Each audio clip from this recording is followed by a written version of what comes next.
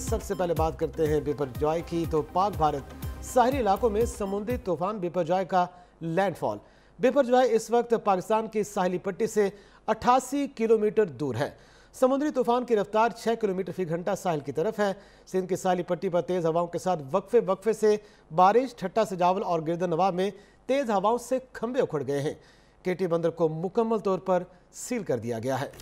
अहम खबर है, पाक भारत साहिल इलाकों में समुद्री तूफ़ान बिपरजॉय का लैंडफॉल बिपरजॉय इस वक्त पाकिस्तान की साहिली पट्टी से 88 किलोमीटर दूर है।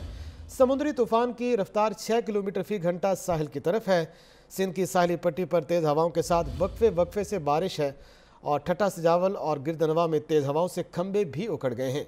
केटी बंदर को आपको आगाह करें कि मुकम्मल तौर पर सील कर दिया गया है। आबादी का इनखला मुकम्मल हो चुका है।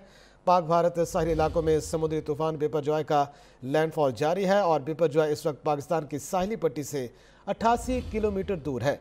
समुद्री तूफ़ान की रफ्तार 6 किलोमीटर फ़ी घंटा है और वो साहिल की तरफ़ रवा दवा है। सिंध के साहली पट्टी पर तेज़ हवाओं के साथ वक्फे वक्फे से बारिश हो रही है। ठट्ठा, सजावल और गिरदनवा में तेज़ हवाओं से खंबे उखड़ गए हैं, जबकि केटी बंदर को मुकम्मल तौर पर सील कर दिया गया है।